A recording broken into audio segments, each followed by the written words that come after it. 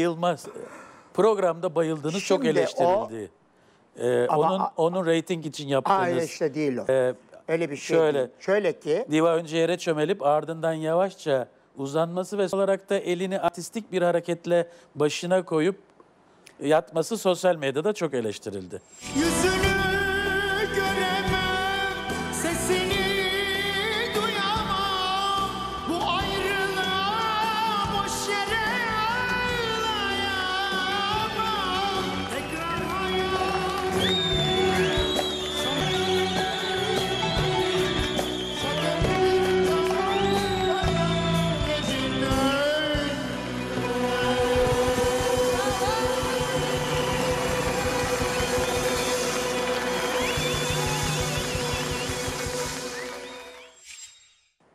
nasıl bakarsanız öyle görürsünüz. Eğer ki e, eleştirisel açıdan onu baz olarak e, alıp o şekilde e, görüntüye bakarsanız onu ona göre yorumlarsınız. Ama burada e, bayılmamı e, gerektirecek bir şey yok. Ve benim e, bütün ekibimdeki herkes de çok iyi biliyor. E, ve oradaki insanlar da çok iyi biliyorlar. Ben yemek yemedim.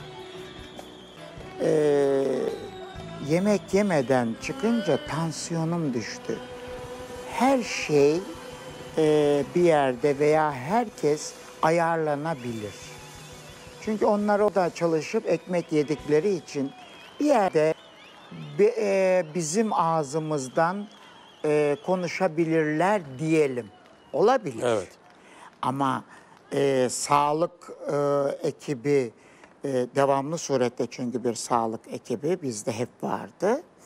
Efendim sağlık ekibinin buraya koluma e, ölçüm aletini koyup da tansiyonumu ölçtüğü vakit onu kim susturabilir?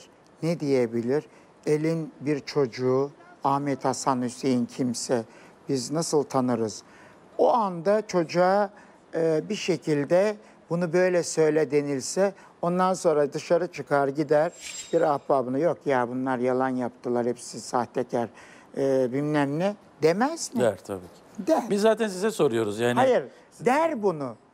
Ya der mi demez? Der tabii ki. Der. Böyle bir şey duyuldu mu? Duyulmadı. Asla. O, yani bir de gerek yok buna. Gerek de yok.